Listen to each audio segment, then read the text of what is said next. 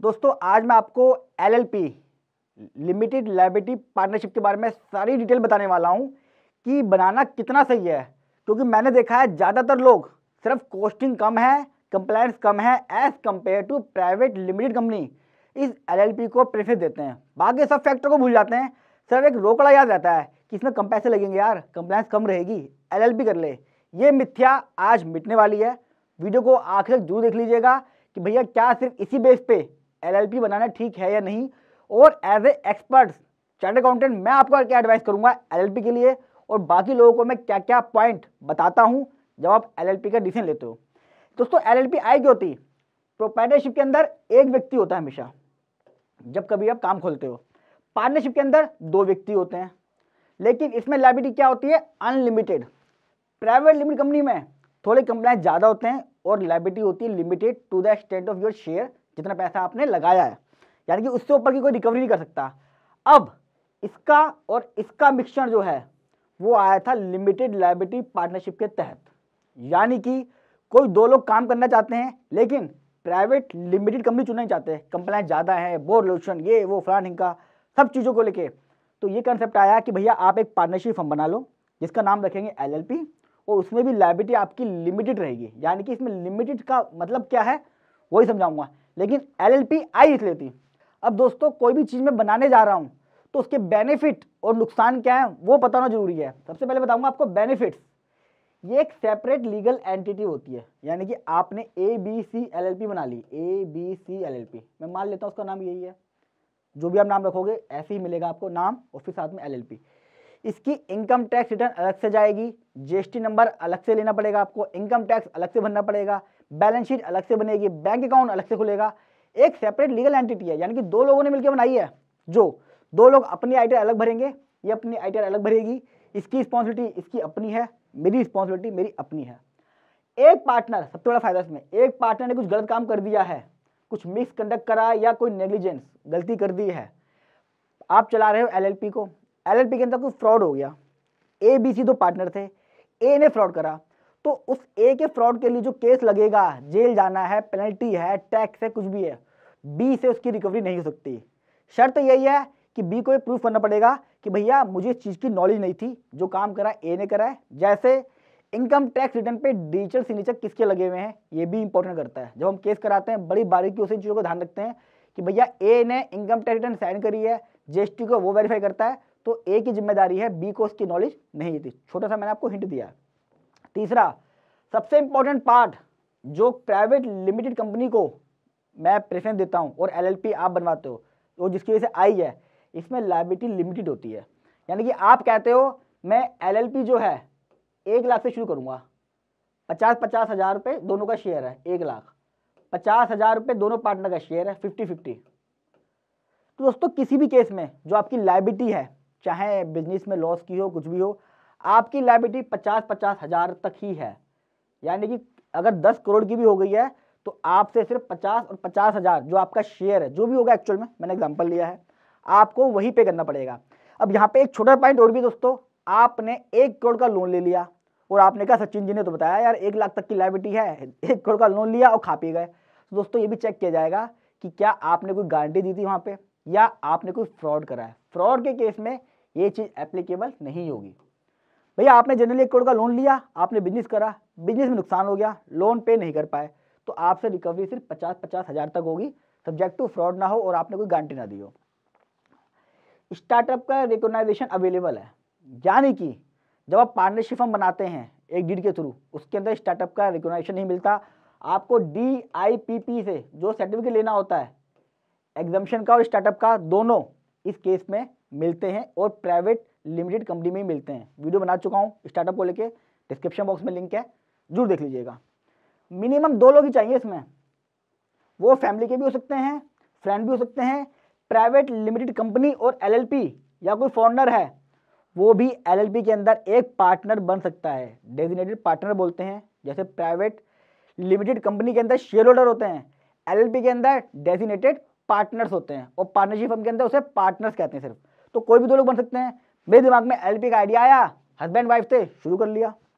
Honour और manager same होते हैं, इसमें सेम सबसे बड़ा फ़ायदा यही है। यानी कि मैंने और मेरी वाइफ ने अगर एलएलपी बना लिया है तो मैं ही इसको चलाऊँगा, मैं ही डेसिग्नेटेड पार्टनर हो गया। पार्टनर भी मैं ही हूँ ऑनर भी मैं ही हूँ। क्यों?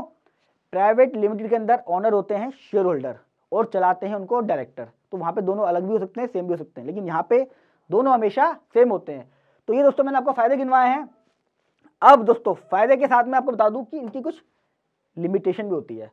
कोई भी लाइफ में दोस्तों काम करने जा रहे हैं, चाहे वो एक गिलास पानी पीना ही क्यों ना हो, उसके फ़ायदे तो पता है, साथ में नुकसान सबसे पहले पता होना चाहिए स्पेशली फाइनेंस के काम के अंदर।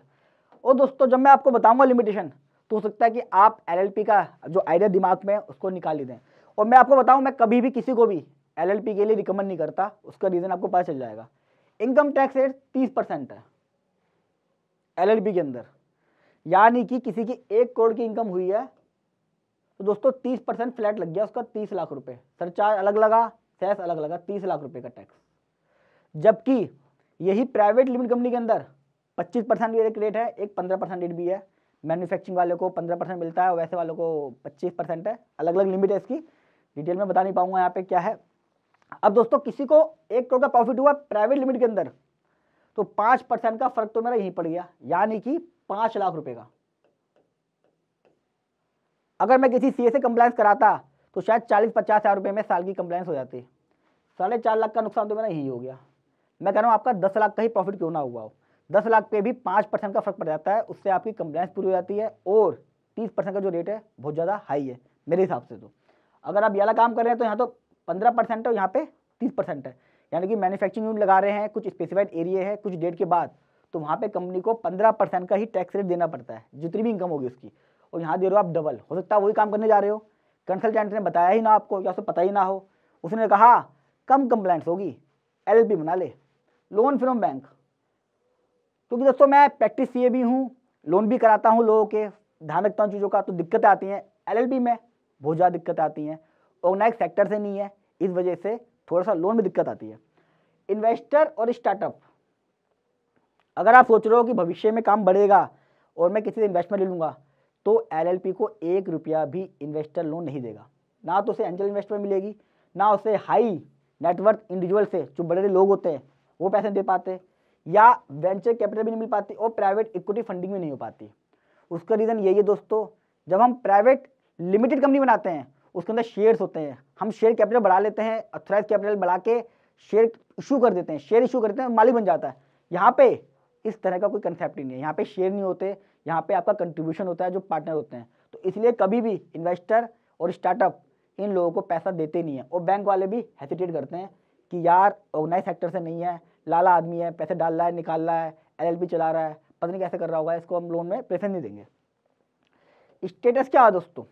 सबसे बड़ा इंपॉर्टेंट पॉइंट जो मैं एलएलपी को इग्नोर करता हूँ, मैंने बता ही। दिए एक चीज़ और भी है, अब मैंने एक एलएलपी बनाई है, मैं कह रहा हूँ क्या काम है जी? एक एलएलपी बना रखी है, मैं पार्टनर हूँ वहाँ पे। अब आप बनाते हो एक प्राइवेट लिमिटेड कंपनी आप कहते हो मैं उस कंपनी का सी एफ़ ओ हूँ सी ओ हूँ, एक मैं चेयरमैन हूँ chairman of A B C limited का। बड़ा बोलने में फ़र्क आ जाता है, और सामने वाला व्यक्ति जो है, एक अलग इंप्रेशन होता है कि कंपनी के सी एफ़ आए हैं कंपनी के चेयरमैन आए हैं, बोलने में बड़ा फ़र्क पड़ जाता है। एलएलपी में क्या बोलोगे? पार्टनर हूँ मैं। अब बताना पड़ेगा, यार एल में पार्टनर हूँ, या मैं किसी वैसी पार्टनर हूँ फर्म में, या मैं पार्टनरशिप में पार्टनर हूँ। लेकिन जब मैं बोलता हूँ सी एफ़ ओ सी और चेयरमैन तो ऑटोमेटिक दिमाग में आता है कि कॉरपोरेट से है तो इस चीज़ का बड़ा फ़र्क पड़ता है। पेनल्टी बता दूँ दोस्तों, सारी कंप्लायंस जो एक प्राइवेट लिमिटेड कंपनी में होती हैं, वो ऑलमोस्ट एल में भी होती है। एल में करनी पड़ती है? सौ रुपये पड़ने की पेनल्टी है, अगर आपने आरसी फाइलिंग नहीं करी, जो पाँच लाख तक पहुँच जाती है प्राइवेट लिमिटेड के अंदर इतनी पेनल्टी नहीं है, लेकिन LLP जब बना लेते हो कंप्लायंस नहीं करते हो तो पेनल्टियाँ बहुत ज़्यादा हैं। शुरुआत में एक दो मैंने बनाई, लोगों ने कंप्लायंस ही नहीं करी, उनकी आई नहीं मेरे पास, और दो साल बाद जब आया तो पता चला कि लाखों की पेनल्टी लग चुकी है उसके ऊपर। तो अगर आप सोच रहे हो कि भैया कई बार डिले हो जाती है काम में, दिक्कतें आई जाती हैं लॉकडाउन चल रहा है, पैसे नहीं है, अगर डिले हो गई है तो थोड़ी पेनल्टी लगे, इसमें बड़ी मोटी पेनल्टी है। इस पेज को मैंने रेड करा हुआ है मुझे शायद लगता ही नहीं है कि शायद जो एलएलपी बनाते हैं या पार्टनरशिप हम बनाते हैं, उनको इस कंसेप्ट के बारे में पता हो। दोस्तों इनकम टैक्स में सेक्शन है फोर्टी बी वो कहता है कि जो भी आप पार्टनर को पैसा देंगे, यानी कि एलएलपी के अंदर जो भी पार्टनर सैलरी लेता है इंटरेस्ट लेगा, किसी तरह का भी पैसा लेता है, वो खर्चे में अलाउ नहीं होता। अलाउड नहीं है। यानी कि एक फर्म के अंदर अगर एक करोड़ का प्रॉफिट हुआ है, और इस प्रॉफिट में से वो चाह रहे हैं कि यार हमने क्या करा, एक करोड़ का रेमोल्यूशन भी लिया है। यानी कि मैं मान के चल रहा हूँ, दो करोड़ का प्रॉफिट था नेट एक करोड़ का पार्टनर ने रेमोल्यूशन ले लिया, और एक करोड़ का मेरा प्रॉफिट बचा है। तो आपके हिसाब से कैलकुलेशन होगी, दो, एक करोड़ पहले ये होगा, एक करोड़ उसमें ऐड कर दिया जाएगा। यानी कि फर्म की इनकम निकाली जाएगी दो करोड़। जितना भी आपने पैसा लिया है, सारा ऐड हो जाता है। वो खर्चा अलाउ नहीं होता पार्टनर रेमोनेशन जितना भी लोग हैं। फिर ये कैलकुलेशन करनी पड़ती है? तीन लाख के बुक प्रॉफिट पे। आपको डेढ़ लाख मिलेगा या नब्बे परसेंट, और बचे हुए पे साठ परसेंट। दोस्तों, बहुत बार जब आप अपने प्रॉफिट की कैलकुलेशन करेंगे तो आप देखेंगे कि आपको कम से कम 25 से 30 परसेंट जो प्रॉफिट होगा ना, आप कैलकुलेशन किसी से पूछवा भी लेना, आपको अपनी इनकम पे 25 परसेंट का टैक्स पे करना पड़ेगा। यानी कि एक करोड़ का जो प्रॉफिट आया है, उसके ऊपर आपको इस हिसाब से कैलकुलेशन से 25 परसेंट का टैक्स हमेशा बनेगा। अगर ये प्राइवेट लिमिटेड कंपनी होती और आपने एक करोड़ ले लिया होता तो कंपनी क्या करेगी? एक करोड़ के ऊपर ही टैक्स पे करेगी। फिर दो करोड़ में ऐड नहीं करना पड़ेगा। इस कैलकुलेशन को एल बनाने से पहले अपने कंसल्टेंट से ज़रूर समझ लेना कि यार ये कैलकुलेशन कैसे होती है और पार्टनर को रेमोनेशन अलाउ क्यों नहीं होता। इसलिए इसको मैंने ऐड करा है। ये कैलकुलेशन बहुत लोगों को नहीं पता। क्यों रेस्ट्रिक्शन लगाई है? मुझे नहीं पता। जब कंपनी में आप डायरेक्टर को अलाउ कर रहे हो सैलरी वगैरह तो पार्टनरशिप फंड में और एलएलपी के अंदर रेमोनेशन अलाउ क्यों नहीं कर रहे? कंडीशन क्यों लगा रखी है? अब दोस्तों क्वेश्चन ये है कि मैंने आपको लिमिटेशन तो बता दिया यार। तो एलएलपी किन लोगों को खोलनी चाहिए? बड़ा इंपॉर्टेंट क्वेश्चन है। अब मैं कहूँगा दोस्तों, एक अगर लॉयर है, अब लॉयर को ना कहीं जाना है, ना कुछ करना है तो लॉयर एलएलपी फर्म बना सकते हैं। आर्टिटेक्स एलएलपी फर्म बना सकते हैं।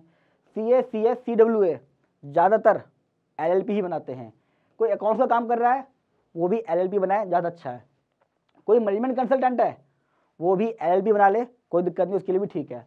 अगर कोई लोकल बिज़नेस कर रहा है, दो लोग हैं, कपड़े की दुकान खोलनी है। एक ने कहा, मेरे पास स्टॉक पड़ा हुआ है, एक ने कहा, मेरे पास दुकान है। दोनों मिलकर खोल लो। एक स्कोप लिमिटेड है, बढ़ाना नहीं है, यही दुकान खोलेंगे काम करेंगे, लोग आएँगे, क्या करना है? दो लोगों की ज़रूरत थी। क्यों ज़रूरत थी? दुकान थी एक के पास, एक के पास कपड़ा था। दोनों की मैचिंग हो गई, इससे ज़्यादा कुछ सोचना ही नहीं है। अगर लिमिटेड लाइबिलिटी रखनी है कि भैया सिर्फ़ लिमिटेड लाइबिलिटी के चक्कर में खोलना है। तो प्राइवेट लिमिट भी कंपनी है, उसमें भी लिमिटेड है।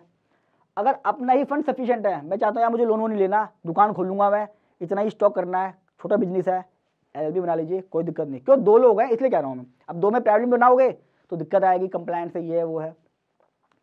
अगर फंड बार बार निकाल रहे हो और डाल रहे हो तो भी दोस्तों एलएलपी ठीक है, क्योंकि प्राइवेट लिमिटेड के अंदर इस तरह से फंड डालना और निकालना अलाउ नहीं है। प्राइवेट लिमिटेड कंपनी के अंदर आप जो पैसा लेते हो, वो सैलरी होगी और जो जमा कराओगे, वो ऐसे डायरेक्टर लोन ही कहलाएगा। ऐसा नहीं है कि लाला की तरह जमा कराया, निकाला, जमा कराया, निकाला, पिज्जा, ये सब चल जाता है। इसमें इन चीज़ों की रिस्ट्रिक्शन होती है। आपको इसमें सिस्टमेटिक तरीके से चलना होता है। अब दोस्तों एलएलपी का प्रोसीजर थोड़ा सा बता देता हूँ। अगर आपको लगता है कि नहीं यार, इस बिज़नेस में बनवाऊँगा तो आपको एक तो चाहिए होंगे डिजिटल सिग्नेचर एक एलएलपी का नाम, जो सबसे ज़्यादा इंपॉर्टेंट है, ताकि भविष्य में नाम को थोड़ा सा इंपॉर्टेंट मिल सके। प्रॉफिट शेयरिंग क्या रेशो रखोगे वो देखना है। कंट्रीब्यूशन बैंक में कौन कौन कितना जमा कराएगा और एक एलएलपी एग्रीमेंट सबसे ज़्यादा इंपॉर्टेंट एलएलपी एग्रीमेंट होता है, जिसके अंदर पूरी बातें एलएलपी के बारे में लिखी जाती हैं। जो खर्चा है दोस्तों, दस हज़ार से बारह हज़ार के आसपास आता है। एलएलपी में और प्राइवेट लिमिटेड कंपनी जब बनती है, दोनों में अप्रोक्सीमेट सेम ही खर्चा है दोस्तों, और सेम चीज़ें ही बनती हैं। तो मुझे लगता नहीं है बनाने में कुछ ज़्यादा बचता होगा। एनुअल कंप्लाइंस की बात करूँगा दोस्तों, पंद्रह से बीस हज़ार रुपये में पूरे साल का मेंटेनेंस रिकॉर्ड बनाना बैलेंस शीट ये सब चीज़ आती है। मिनिमम डिपेंड करता है कि आपकी सेल कितनी है, कितने बड़े लेवल पे काम कर रहे हो तो खर्चा लाख भी हो सकता है, दो लाख भी, तीन लाख भी साल का। आरओसी में रजिस्ट्रेशन होता है दोस्तों, कोई भी इसको देख सकता है प्राइवेट लिमिटेड कंपनी की तरह। आपके PAN card Aadhaar card phone number email ID balance sheet सब चीज़ें ऑनलाइन निकाल सकता है कोई बंदा। कौन कब अपॉइंट हुआ है, किस तरह अपॉइंट हुआ है एलएलपी एग्रीमेंट में क्या क्या लिखा हुआ है, कोई भी सौ रुपये देके निकाल सकता है ये। आप इसे कन्वर्ट भी कर सकते हैं। आपको लगता है, यार, अभी स्टार्टिंग है, थोड़ी कंप्लाइंस कम रहेगी। एल बना लेता हूँ, बाद में कन्वर्ट कर लूँगा। तो आप इसे कन्वर्ट कर सकते हैं।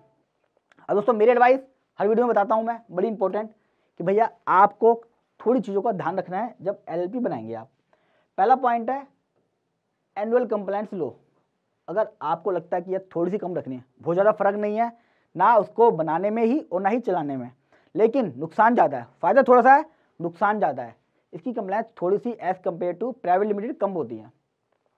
आप कंपेयर कर लें टोटल कॉस्टिंग रनिंग की और इनकॉपरेशन की भी, कि भैया बनाने में और चलाने में इतना खर्चा आएगा प्राइवेट लिमिटेड कंपनी बनाने में, चलाने में इतना खर्चा आएगा, क्या उसमें कुछ बार्गेनिंग हो सकती है? अगर बार्गेनिंग हो जाती है बार्गेनिंग तो आप फिर एक प्राइवेट लिमिटेड कंपनी बना लें। ऑनलाइन कंपनी बनाइए दोस्तों। ये तो मैं हर वीडियो में बोलता हूँ कि जिनको पता ही नहीं है, जो लड़के रखे हुए हैं वो क्या करते हैं? एल एल एग्रीमेंट गलत बना देते हैं डी जे गलत बना देते हैं, नाम के अंदर डिस्कस नहीं करते। तो कभी भी आप बनवाएँ तो डिस्कस करके L L P agreement drafting कैसे बननी है क्या क्या होना है, भविष्य में क्या काम करूँगा, अभी क्या काम कर रहा हूँ, आगे कन्वर्ट करूँगा, नहीं करूँगा, बहुत सारे पॉइंट एलएलपी में होते हैं और प्राइवेट कंपनी में भी जब भी हम बनाते हैं, इन चीज़ों का ध्यान रखते हैं कि भैया जो बंदा बना रहा है, उसके पास कागज़ अवेलेबल भी है कि नहीं है? वरना क्या होता है फ़ोन करते रहते हैं कि भैया ये मेरा काम हो गया, ये मेरा काम हो गया, ये चीज़ चाहिए, वो चीज़ चाहिए। परेशान रहते हैं क्योंकि वो लोग प्रोफेशनल नहीं होते, कुछ वेबसाइट्स हैं जो सिर्फ़ यही काम करती हैं। दोस्तों, आशा करता हूँ एलएलपी का पूरा कंसेप्ट आज क्लियर हो गया होगा। अगर वीडियो अच्छी लगी और फ़र्स्ट टाइम मेरे चैनल पर आ रहे हैं तो चैनल को सब्सक्राइब करने के साथ साथ बेल आइकन में ऑल नोटिफिकेशन ज़रूर क्लिक कर दीजिएगा, ताकि जैसे ही कोई वीडियो अपलोड करूँ, आपके पास नोटिफिकेशन आ जाए और आप मेरी कोई भी वीडियो मिस ना करें। उसको जितना हो सके इस वीडियो को अपने सर्कल में ज़रूर शेयर कीजिएगा, ताकि लोगों को एलएलपी का कंसेप्ट समझ में आए। और सिर्फ़ एक रीज़न कि कंप्लेंट कम होती है, उस बेस पे एल बनाना बिल्कुल भी ठीक नहीं है।